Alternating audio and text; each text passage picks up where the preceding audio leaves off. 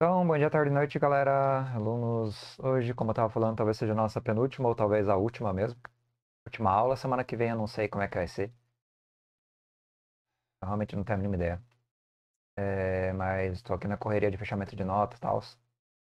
E a aula de hoje é a leitura de Watchman, né? Vamos ler mais um pouquinho. Infelizmente, spoiler, né? Vocês não vão ter o fim do, do HQ. A menos que vocês me vejam lá no YouTube, não sei se alguém vê isso aqui, porque eu vou lançar no YouTube, né, o resto dos vídeos, o resto da leitura, pelo menos até terminar Watchman. Com Sandman é um pouquinho mais complicado. Porque Sandman são cinco volumes mais a morte, então são seis volumes, eu tô no, sei lá, no meio desse aqui. Um pouco além do meio, tô quase terminando esse volume. Não sei, vou descobrir, peraí. É, estou bem avançado, mas não vou terminar não. E Sandman é complicado. Mas para vocês que é o Watchman, infelizmente não vai dar para terminar. Vou ler hoje mais um pouco, tá? A gente está no capítulo 8, que é o capítulo 12 Mandias. E aí eu continuo a leitura semana que vem, se der. Se não der, uma live ou talvez um vídeo gravado, provavelmente uma live faz muito sentido gravar o vídeo, fazer live, acho. Uma live com um ou dois loucos aí que assista, talvez, pingado aí. Uma leitura do HQ do meio do caminho, né? Que não faz o mínimo sentido. Live de surreal, assim, né? Que realmente não faz o mínimo sentido. É... Bem, mas eu sou meio porra louca, talvez eu faça. Então, para hoje, vamos continuar aqui no capítulo 8, ver o que acontece, ver até onde a gente consegue ler. E é isso, tá? Bora lá, bora lá. Acabou o ano, acabou o semestre, acabou tudo, mas bora lá. Então temos aqui no capítulo 8, é, alguém atendendo o telefone, né? Eu acho que um, um mordomo, talvez. Alô? É a Sally? Sally? Oi, tudo bem? Eu. Hollis? Hollis Mason. Hollis? Nossa, desculpe, não reconheci sua voz. Há quanto tempo? Como tem passado todos esses anos? Você guardou meu número e esperou até a gente estar no fim da vida para me ligar? Bom, esta é uma ocasi ocasião especial. Um cortiço pegou fogo a noite passada. As vítimas foram salvas por um dirigível. O piloto usava óculos de proteção. Tinha uma mulher com ele. E a outra: Não me diga que era o menino que te sucedeu. Mas quem era a mulher? Eu, Laurie, minha filha? Laurie? Mas ela odiava aventuras. Odiava? Por quê? Morando com ele uma semana depois que o John se mandou. Que rápida! Só que a mãe da, da, da, da Laurie, né? A, a Hollis. E. Hollis, uh, não, a Sally. E o Hollis, o Hollis Manson é o primeiro coruja ligando para ela, né? E falando da, do que aconteceu no dia seguinte, no dia seguinte, no dia anterior. Mouse. Ela comentando a filha morando com o cara já, depois de uma semana do John ter caído fora, né? Aí o Hollis. Bom, a imprensa ainda não notou, mas eu percebi na hora. Dan confirmou quando ligou para cancelar a cerveja desta noite. Dan é o novo coruja, né? Confirmou quando liguei, quando ligou para cancelar a cerveja desta noite. Ele não disse muito, mas está armando alguma coisa. Dá saudade, não? Aí a a Sally do sórdido do nosso sórdido passado ou melhor, do nosso passado sórdido, né? Ela fala, eu li Nosso passado sórdido, ou se dá. Ocida. Tenho pensado muito nos velhos tempos. Devia ter mantido contato com o pessoal. e você, Hollis, como está? Aposto que não mudou nada. Aí ele, ah, pode crer que eu mudei muito, mas ainda continuo em forma, trabalhando na oficina. E você? Pela voz, está mais jovem do que nunca. Cantando a Sally na cara dura. É, obrigada, Hollis. Mas isso na certa já é senilidade sua. Senilidade de sanidade, tá? Sanidade não de estar senil, né? De velhos. Nossa, palavra estranha. Senilidade sua. Ela agradece, mas ele está viajando. Eu engordei um pouco, mas prendendo a respiração, o velho traje ainda serve.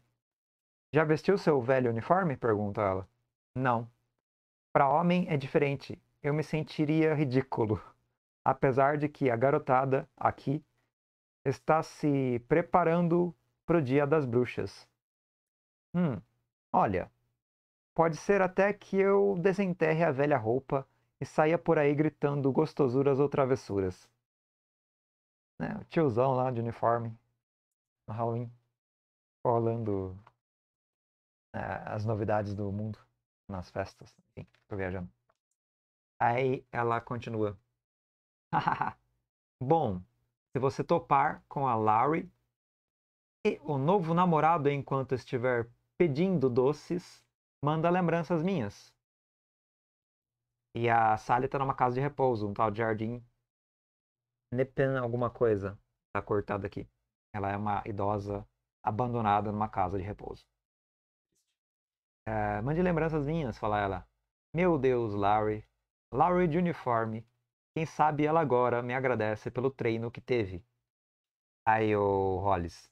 Ah, filho é assim mesmo. Nunca agradece. Até ser tarde demais, eu fui igualzinho. Hoje gostaria de agradecer meu pai por me dar uma profissão tão prazerosa. Relojoeiro, né, Legal? Relojoeiro, se não me engano. É, escolher o estilo de vida é muito importante, fala a Sally. E às vezes a gente precisa ser orientado. Eu nunca tive orientação, por isso sou indecisa. Tipo, marco sessão extra na análise ou de aeróbica. Tipo, marco sessão extra de análise ou de aeróbica, né? Pensando assim, né? Ela questionando. Você tomaria essa decisão na hora, fala ela. Aí ele. Bem, Sally, foi ótimo falar contigo, mas ligação para Califórnia é cara. É melhor eu desligar antes que abuse demais da minha conta bancária. Deus sabe como, como ela tem sofrido. Então, coitado, tá meio falido. E a própria Sally? É.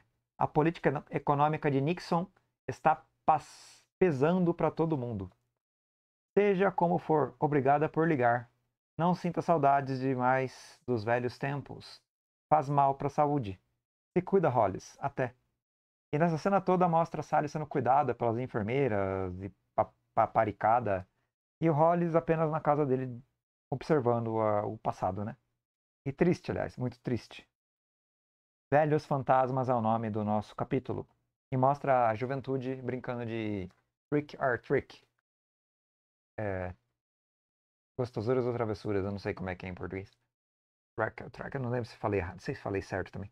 Aí aqui na próxima página tem uma história de HQ, a leitura do nosso ávido leitor na banquinha de um velho ranzinza, enquanto ele lê sem pagar, né? Ligeiro. E tem a narrativa por cima, então são duas histórias ao mesmo tempo. Eu vou ler primeiro a narrativa da HQ, é uma página só, tá? Depois eu leio a história em si. A deriva e faminto, senti meus temores mais sombrios se avolumaram, se avolumarem esparramando-se do cérebro até o coração como tinta preta, impossível de remover. Eu imagino as ruas de Davidstown, varrida por canalhas tatuados, relembrando sua brutalidade. Eu gemi. O cargueiro já deve ter alcançado Davidstown. Sem dúvida, minha esposa está morta. Tais ideias me deixam transtornado, fazendo o tempo parar.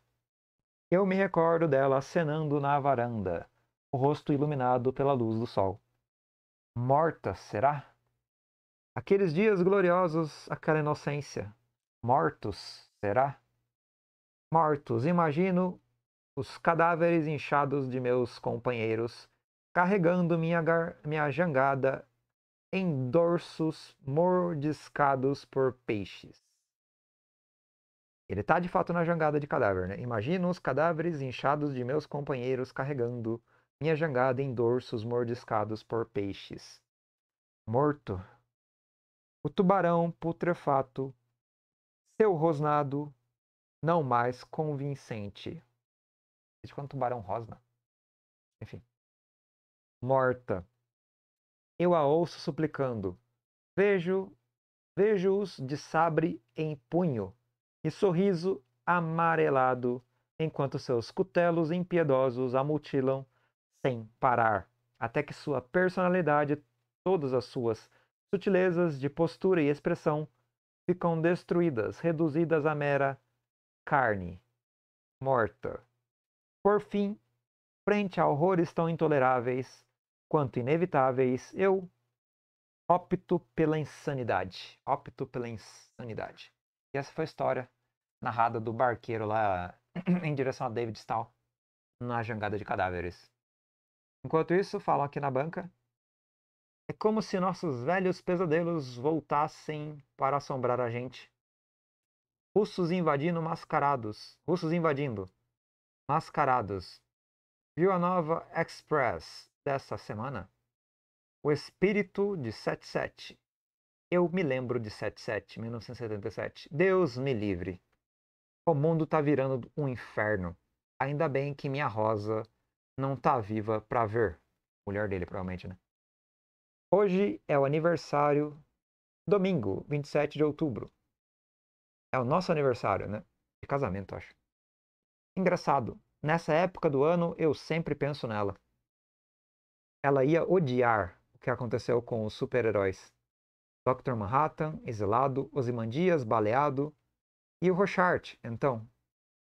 A Gazette diz que ele atacou um preso com óleo fervendo. Óleo fervente. Nossa. Ainda custo a acreditar. Ele vinha aqui todo dia. Ninguém reparou. Mas a vida é assim mesmo. Muita coisa acontece por debaixo dos panos. Na verdade, pois não. A Gazette? Claro. Tá vendo este artigo sobre o Rorschach? Ele era freguês aqui. Eu sempre suspeitei. Mas é incrível, não? Ele mostra assim a, a, a Gazette pro moleque, né? Kovacs. É, incrível. Incrível mesmo. Obrigado. Bom dia, senhor. Bom dia pro senhor. Ele se é vazado, né? Um moleque aqui. Não, um, um cliente, acho. Ah, não, um cliente mesmo. Ele tá oferecendo um jornal pro cliente, dizendo, ah, o Kovacs era cliente aqui e tal. Aí, bom dia pro senhor, ele sai vazado. Pegou o jornal. Sujeito preocupado. Na certa, professor, que só, só pensa em álgebra, relatividade e coisas do tipo. O que essa gente sabe da vida? O mundo enlouquecendo e eles nem aí. Falando pelas costas do cliente, né? Que deu um perdido nele. Meio, sei lá, né? Foi estranha a cena. Página seguinte tem a Sally. A Larry, Larry, Larry, Larry. A Larry trocando ideia com o Dan no esconderijo. Essa loucura. Nós começamos a ser amantes. O mundo pode acabar amanhã. E como decidimos passar a noite de domingo? Planejando resgatar um homicida em Sing Sing. Eu abasteço esses flutuadores depois de fumar, tá bom? Ela falando e comentando ranzinhosamente com o Dan. Ele, claro, isso não é loucura. Alguma coisa está acontecendo. Quatro aventureiros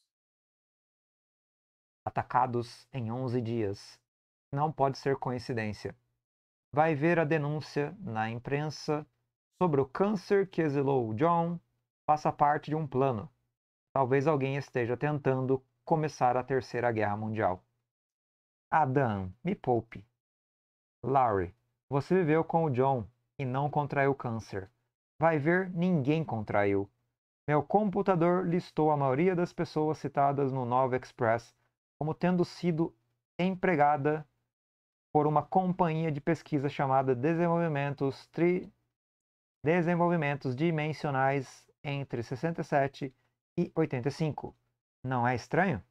Nossa, desenvolvimentos dimensionais durante 6, 7 anos contratou essa galera que está com câncer. Ele continua. Jane Slater, Wally Weaver, até deram um emprego temporário para o Moloch quando ele saiu da prisão. Eles financiam um instituto para estudos extraespaciais, extraespaciais, enquanto são financiados por uma outra companhia, a Entregas Pirâmide. Esta estrutura corporativa é um labirinto. E sua lógica também. Afinal, para que soltar um doido como Rochart? Resgate no cortiço já foi um crime enorme, fala Sally. Larry, Larry. Ela continua, né? Ele tava falando, ela corta. É, e sua lógica também, né? Sua lógica também é muito labiríntica. Afinal, para que soltar um doido como Rochart? Resgate no cortiço já foi um enorme, de um risco enorme, né? Resgate naquele incêndio, né? Aí o Dan. Rochart investigou o caso. A gente precisa. A gente precisa do que ele sabe. E o nosso tempo está no fim, fala o Dan. A Gazette de hoje menciona ameaças de morte após o incidente do óleo fervente. Porque o Rochard está meio que na, no limite da vida, né? Ele pode ser assassinado a qualquer momento. E Eldan, é importante, Larry. Se premeditaram o exílio de, Don, de John e as consequências que isso teria, talvez essa mesma. Talvez essa seja a coisa mais importante do mundo. E no jornal, aqui no canto, russos cruzam fronteira do Paquistão. Mas voltando aqui pro, pro John, pro Dan, pro Dan.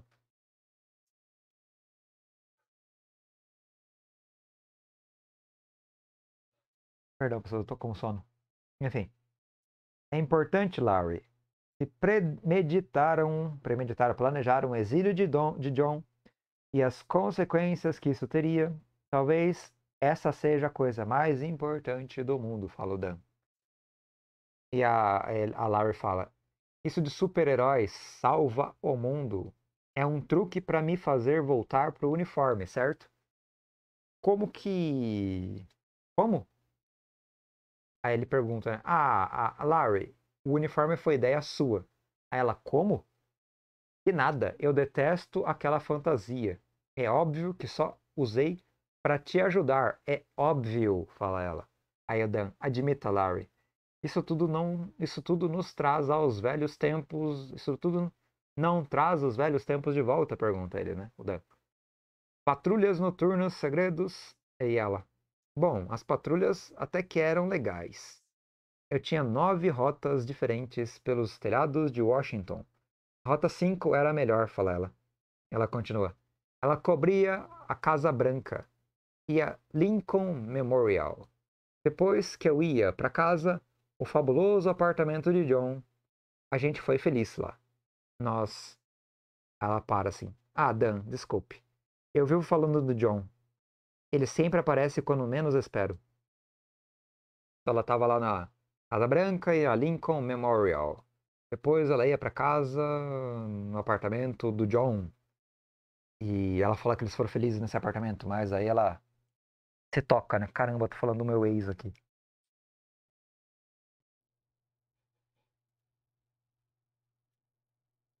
E ela fala, eu sempre toco no assunto falando no John quando menos espero, né? Aí o Dan, não faz mal. A coisa ainda é recente. Ah, alguns esqueletos vão mesmo salvar, saltar do baú. Eu estava pensando no Adrian. A gente devia contatar o sujeito. Mas não antes da fuga da prisão. Eles na nave da, no, no enfim, estão dentro da nave mexendo nos negócios. Não, estão fora da nave, na verdade.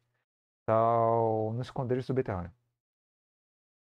E aí ele continua. Na posição dele, saber antecipadamente pode ser comprometedor. Talvez ele se sinta na obrigação de nos impedir. Daí ela, a Larry. Dan, às vezes eu me sinto na obrigação de nos impedir. Pense bem. Uma fuga da prisão é incrível a gente estar levando isso a sério. Aí o Dan.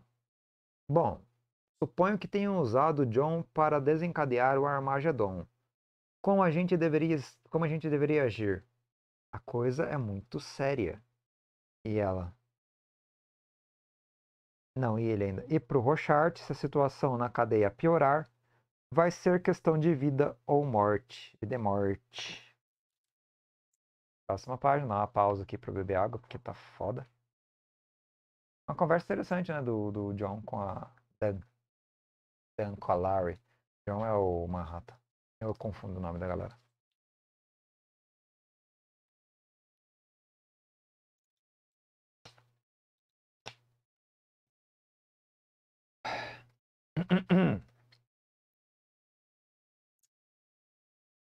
Bora lá então. Então na página 250, lembrando que. A... Vou só falar até que página vai a história para vocês terem uma carga de consciência. Enquanto eu, sofro aqui. Tem uns especiais, muito especiais, várias páginas extras. Muitas páginas extras. Isso aqui vai dar um trabalho do inferno. Muita prosa, muita, muita prosa. Eu acho que acaba aqui. Se eu não me engano, vai até a página 412. Eu estou na 250. É, eu li um pouco mais da metade já, né? Como vocês podem ver, 412. Tirando os extras aqui, que é uma pancada de página também. Mas, é, bem, 412 páginas é pouco, né? Eu acho. Vou chegar, acho que até a 255 e mais ou menos. Aí o resto eu leio na, nas lives do YouTube. Aí nessa outra cena aqui na página 50 tem um guarda e a galera indo pra, pra cela do Rochart. Aí o guarda, hum. O que vocês querem? Olha, esta é a ala solitária. Vocês não deviam estar aqui. Se alguém souber, é fria para todos nós. Pô, dá um tempo, vai, fala o guarda. Como está a patroa? Hum, mulherne. Mulherne é o nome da patroa? Estranho. Que? Fala o guarda. Olha, ela não está em casa. E errado. Olha, ela não tem nada com isso tá? Se manda. E o garoto, você ainda tem filho ou não tem? É, o guarda, mas, porra, o que vocês querem? Fala ele. Aí a galera aqui de, de, de campana, né? Cinco minutos com o nenê que você está pageando. Fique frio. Ele nunca vai se machucar. É só para dar um oi. Aí o guarda, bom, tudo bem, cinco minutos, mas só isso, tá? Certo, pessoal, pessoal, certo, certo. Ele vaza e deixa a galera na porta da cela. São três pessoas, um nanico e dois brutamontes. E o nanico fala, Rochart, há quanto tempo, hein? Nanico acho que é anão mesmo. E aí o Rochart, grande figura, mundo pequeno. Grande figura é o nome do moleque, né? Do, do ladrão aqui, o delinquente que é um anão ou uma coisa. Um menor de idade, entre aspas, né? Na verdade, não, ele é um tiozão de estatura baixa. Mundo pequeno, né? Mundo pequeno é pra tirar a cara dele, né? A Rochart e os caras conversando aqui. O Rochart fala. Na verdade, o, o tal do grande figura ah, mundo pequeno, gostei, muito boa. Mas você tem razão, é um mundo pequeno mesmo. Eu tô aqui faz quanto tempo, Michel? 20 anos, seu figura. 20 anos. Então o nome dele é figura mesmo, seu figura, 20 anos. Um tempão, fala a figura. Você deve pensar que até deu para esquecer que você e a tal e o tal coruja me fizeram né? É engraçado como. Obrigado, Lawrence. Pega um charuto. Como essas coisas voltam para assombrar a gente. Ele continua a prosa dele com o Rochard só monologando, monologando e falando.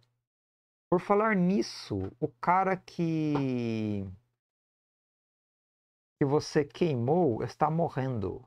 Talvez amanhã, quem sabe quinta, sexta, mas não se preocupe. A coisa não vai para o tribunal. Daí o Rochard. Nem você. Quando ele morrer, esse lugar vai explodir. Ah, eu detento. Ah, você deve. Você morre devagarzinho. Aí você morre devagarzinho, fala o grande figura.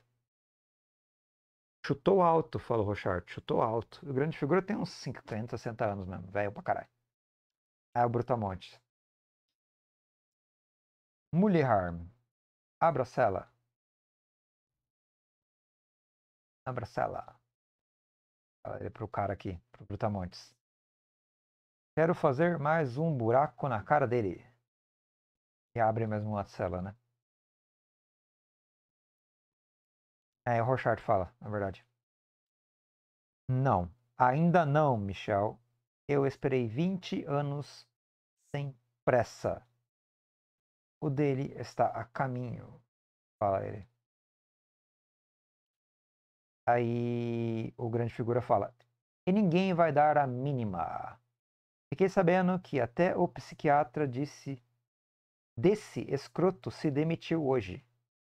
Fato, se demitiu, né? O tal do psiquiatra que ele entrou em bug, em conflito por causa das falas do Rochard. Você está sozinho no Vale das Sombras, Rochard, onde o passado tem longo alcance. Só existe uma rachadura esperando dele. Ele vai ser convocado para o mundo dos pós-vidas como um espírito, talvez.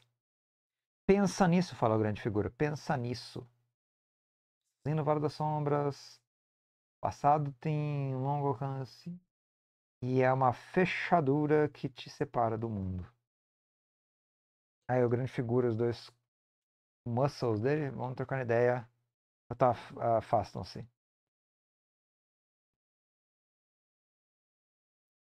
É, o Rochard fica sozinho na sala dele. Aí, próxima página. Cara, tô morrendo de sono, vou levantar. 20 minutos de leitura. Eu tô lendo pausadamente e pescando muito, porque eu tô muito cansado. Você sabe que eu morro de sono na terça-feira e segunda, sei lá por quê, né? Segunda acordo cedo, terça acordo cedo, na, na terça tem o baque do dia. Ah, vamos lá. É difícil de ficar acordado. O baque é complicado.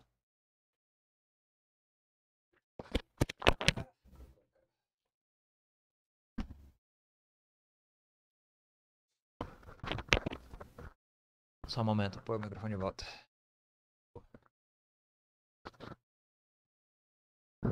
Ok, tô de pé. Microfone na lapela. Olhos exaustos.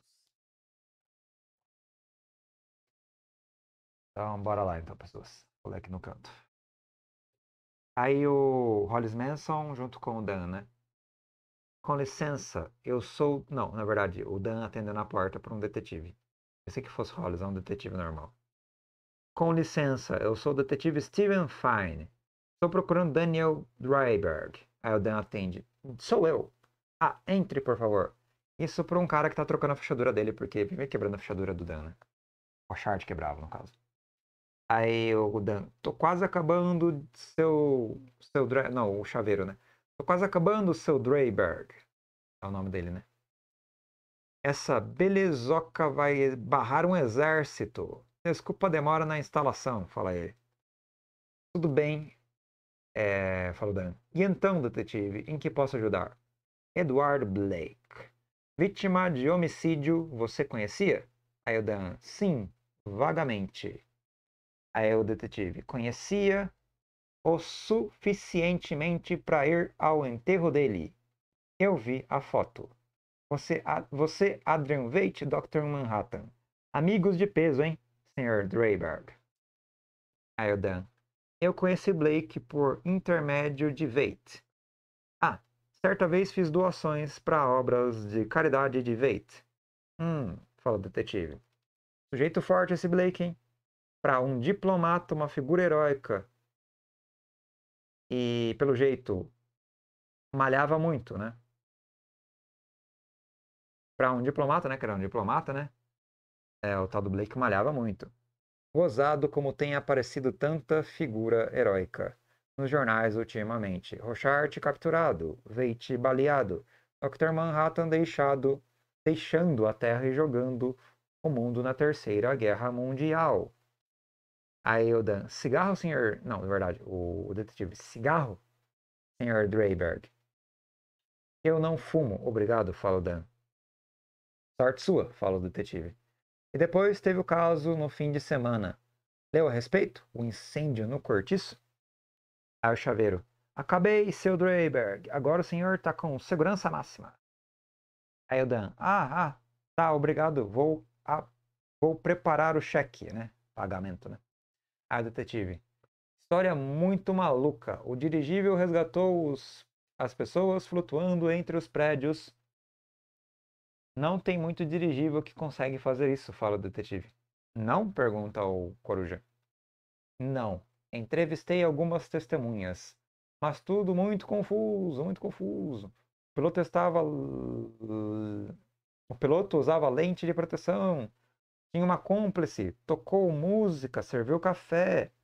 Sabia que a que sabia que cubo de açúcar da marca Sweet Chariot é vendido por atacado? Pergunta o detetive. Ah? Acho que sim, por quê? Por nada. Outra coisa, fala o detetive. A única nave que eu conheço capaz de manobrar entre prédios era de um certo aventureiro mascarado colocado na ilegalidade em 77. Não pode ter sido ele, o cara deve estar com mais de 40 agora, pergunta o detetive, né? Não pode ter sido ele, o cara deve estar com mais de 40 agora, tal qual Dan, né? Tem mais de 40. Aí o detetive continua falando. Sabe como é? Gente da nossa cidade tem saúde fraca. Levanta de manhã, tossindo quase até sair o pulmão. Peraí. Eu tinha esquecido, você não fuma, né? Fala o detetive. Não. Aonde o senhor quer chegar? Pergunta o Dan. Lugar nenhum. Não estou nem de serviço, sequer estou de serviço. Só vim ver se você sabia alguma coisa do Blake. Aí o Dan, infelizmente não. Nós não éramos íntimos. Ah, essa porta leva ao depósito. Eu perdi a chave, falei ele enquanto ele tenta abrir a porta do cara, né? A porta que leva ao depósito. Dá uma desculpa. O depósito subterrâneo dele que é o esconderijo, na verdade. Ah, detetive, tudo bem. Eu já vou andando. Gostei desse calendário, bela coruja. E continua: dois tipos de gente têm calendário aqueles que gostam de olhar a figura do mês seguinte e os que não fazem isso. Você é de que tipo? Uh, do segundo, né? Os que não fazem isso, né? Depois devia olhar, vale a pena, fala o detetive. Novembro é um falcão pegando um pardal no voo. Meio profético, não? Aí, putz, desculpa ter estragado a surpresa. Ele estragou a surpresa, ele mostrou no mês seguinte, né? Não faz mal. A vida já tem surpresas demais, fala o Dan. Nem me fale, fala o detetive. E desculpe por incomodar por com esse papo de aventureiros e é quase um hobby para mim. Desde que prendi Rochart, não tiro esse pessoal da cabeça. Ele continua, né? Sabe, salvar vítima de incêndio ninguém condena, mas se a coisa não parar por aí, é como a nova Express diz: espírito de 77. Brrr, fala ele. E aquela mulher, a espectral, por onde será que ela anda? Voltando ao Rochart, fala o detetive enquanto sai da casa dele. Sabe o que ele tinha nos bolsos quando foi capturado? Cubo de açúcar. É esquisito, né? A gente se vê, Sr. Dreyberg. Se cuida. Pode deixar. Boa noite, detetive. Então, o detetive ligando as pontas e falando, meio que ameaçando assim, ó. Tudo bem, resgatar a vítima de incêndio é uma coisa. Mas, sabe como é, né? Se manter a atividade, você vai ter problema. Aí a Larry. Quem era, Dan? Quem era? Eu estava no banho, mas ouvi de final, mas ouvi o finalzinho, né? O finalzinho. O que ele disse sobre 1977? 1977. O que significa? Pergunta ela. Aí a Dan. Significa que o tempo acabou. Talvez já tenham contado a base Rockefeller. E até já saibam que você está aqui. Não é nem um pouco seguro soltar Rorschach depois de amanhã, fala Dan. De repente temos um prazo, fala ele. Então eles já sabem da nossa vida, das nossas uh, atividades. E o Dan sabe que se ele não resgatar o cara imediatamente, vai ser complicado, né? O tempo acabou. Ah, saibam que você está aqui, né? Que a Laura está aqui. Que não temos mais segurança nenhuma. E aí ele joga o, ah, o plano para frente, né? Agora na página 254. Vamos ler ela também. A página mista entre imagens distorcidas, falando do Osmandias, provavelmente, e o Dan preparando a nave dele, junto com a Larry. Está lá no topo da página. 31 de outubro de 1985. Pronto. Então aqui, seu Godfrey, falou o atendente. Anda, Seymour, isso tem que estar tá preparado. Não. Anda, Seymour, isso tem que estar tá pestapado. Que pestapado, não sei. Impresso e distribuído esta tarde. Me dê a manchete. Cadê as fotos? Então aqui, seu Godfrey, fala ele. Jornalista, né? Jornalista querendo publicar um furo. Não fica aí parado feito idiota. A gente ainda precisa tapar o buraco da última página. Pega alguma coisa no arquivo de matéria fria. Esta é a minha maior manchete. Nada como aquela merda de espírito de 77 de Nova Express.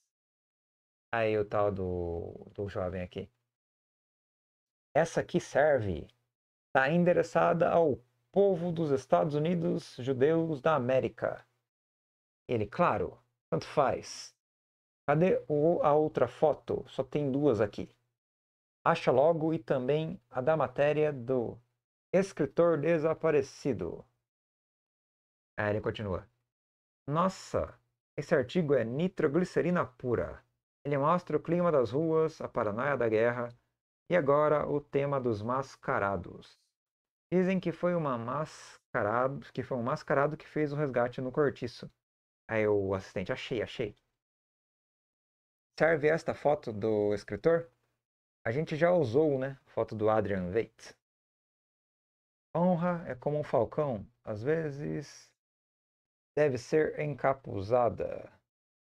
Interessante.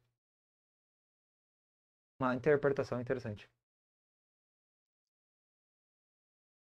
De, on, de honra, honra é como um falcão, tá num jornal que eles estão imprimindo ali, os jornalistas, tá? É um título, né? É, a gente já usou aí o, o, o tal do editor, né, de, de, de jornalista. Seymour, tira isso da minha frente. Eu não consigo ver o que tá fazendo, o que tô fazendo. Hum, tem a ver com a edição do Dia das Bruxas, fala ele. Bom, agora sai e vai buscar o almoço. Nada daquela merda de Gunga Dinner. Nem do Harry Head, Hanky Head. Me traz um hambúrguer. Um hambúrguer americano. Enquanto isso, eu apronto essa toalha para mandar para as bancas. Apronto essa trolha. Trolha, não toalha. Trolha. Coisa, né? Para mandar para as bancas. Ele está falando do jornal que ele está editando. E aí, num outro cenário, na Índia, mostra uma pintora pintando um quadro e uma narrativa descrevendo o que ela está fazendo. Vai durar para as próximas páginas também, tá? São contos pequenos. Vou sentar um pouco.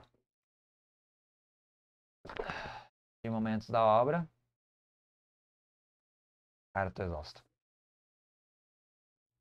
E vão desbravando o cenário, né? Eh, narrativas intercortadas. Expandindo os momentos enquanto Dan e a Larry preparam a nave para resgatar o Rochart.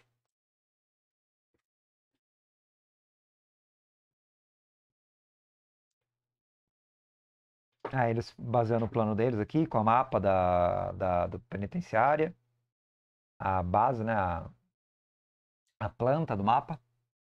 E na página seguinte eles abastecendo a nave, mexendo na nave e tal. E em cima temos o quê? Anda! Esboçando, senhorita Manish. Achei que queria terminar logo esse quadro. Ela, eu quero. Eu precisava de alguns estudos finais do arranjo facial. Você está bloqueando a luz. Fala ela. Aí o Adam Veit. Ah, desculpe, por favor. Desculpe, por favor, me perdoe. Este velho bêbado só está admirando a costa de mosquitos. Admirando a costa de mosquitos e pensando em voltar ao continente, mas. Há três dias, como pode desenhar a coisa sob Nossa, tá, tá estranho o que ele tá falando aqui. Tô muito sonolento, pera aí. Então, só pra ler. Terminar essa página, só ler o cabo. Eu vou parar por aqui mesmo. Página 255, tá? Vou terminar ela, daí a gente conversa um pouco e cai fora. Ah, desculpe, por favor. Perdoe esse velho bêbado. Ele só está admirando a costa de Mosquitos. Que é o lugar onde ele tá, tá, né? A ilha que ele tá. E pensando em voltar ao continente. Mais três dias. Como pode desenhar a coisa sobre como pode desenhar a coisa sob o encerramento? Sob o encerrado, encerrado. E ela, eles ergueram. Para que esse. Tá foda isso aqui. Tô gaguejando muito. Eles ergueram para que eu pudesse ver o bico. E ela continua. Belo trabalho. Espero que fique adequadamente refrigerado na viagem. E apodrecer Aí o Osman diz: Bom, é bastante frio aonde ele vai. Estão interagindo com um tipo de alienígena, na verdade. É, enfim, até esboçando a forma do alienígena e tal. E ela, na verdade, o, o Veit fala: Mas, mais do que o lugar aonde eu vou quando sair daqui, Sabe, este lugar, malditas empresas cinematográficas paranoicas, é como estar naufragado. Eu escrevi uma história certa vez, e a artista aqui, pintora, indiana. Mas agradável, mais agradável que a última espera, mais agradável que a última espera, fala ela. Ilustrar a sequência da, na qual os jovens abrem caminho e adentadas para fora do útero materno foi uma experiência e tanto ilustrar a sequência na qual os jovens abrem caminho adentadas para fora do útero materno foi uma experiência tanto. Pronto, terminei. Vamos nos despedir do nosso bebê, senhor, senhorita Xia. Ou senhor Xia, né, que é o Veit. Senhorita, ali errada. Senhor Xia. Terminei, vamos nos despedir do nosso bebê. Ela mostra a imagem do desenho dela. Bebê, fala o Veit. Se bebê for meu bebê, se esse for meu bebê, deve haver um jeito melhor de fazer filhos. Vamos, vamos, vamos. Quero ver se ele tem alguma semelhança conosco e checar o, o pirralho uma última vez. E o pirralho, na verdade, é uma massa alienígena que eles estão aqui escondendo, né? O Veit tem dessa de fazer manipulação genética. Eu vou parar aqui na página 256, pessoas, eu tô muito zoado já. Tô lendo totalmente anestesiado desde o começo do texto. Desde o começo do dia, na verdade, né? Vocês viram que minha voz tá totalmente é, embargada de sono. E mouse aí, cara. A gente para aqui no meio do nada mesmo. Continua nos lives no YouTube, ou talvez semana que vem. Se pra ler mais um pouco, pelo menos. Se descobre. Tentar terminar o capítulo 8, né? Não sei. É possível. Acho que não vai dar certo. Mas, enfim. Né, acho que não é muito longo esse capítulo. É, bem longuinho. Talvez eu não consiga levar até a página 272. Eu parei na página 2, é, 256. Tem mais 10 páginas para ele acabar. Mas a gente vai lendo depois, tá? Conforme der na telha. Aí eu leio depois também. Tô com a voz embargada já. Tem que ler mais na aula que vem. Aguentar o sono e. Uh o cansaço. Mas eu aguento. De todo modo, vou parar por aqui, tá? Agradeço pela presença aí. Vou desligar aqui a, a gravação de tela e dar tchau para vocês do YouTube. Valeu pela presença. A gente volta semana que vem. Se tudo der certo, lendo mais um pouco. Se tudo der errado, não lendo. Não lendo, né? Na verdade, nem vou gravar a tela se tudo der errado. E daí eu faço live gravando onde eu parei a leitura. Só para dar uma continuidade e terminar a HQ, tá? Eu termino ela, depois eu penso o que eu faço com o Sandman. Mas é isso, galera. Obrigado pela presença. Desculpa aí, eu tô muito zoado. Teve aulas piores, mas essa aqui tá bem ruim também. Tá bem ruim para meu lado, no caso. E é isso aí. Aí semana que vem eu converso com vocês. Ou no outro vídeo do YouTube lendo outras coisas, tá? No caso, o Watchman, continuando a leitura. Tá, esse parei na página 256 e a gente volta depois. Falou, pessoas.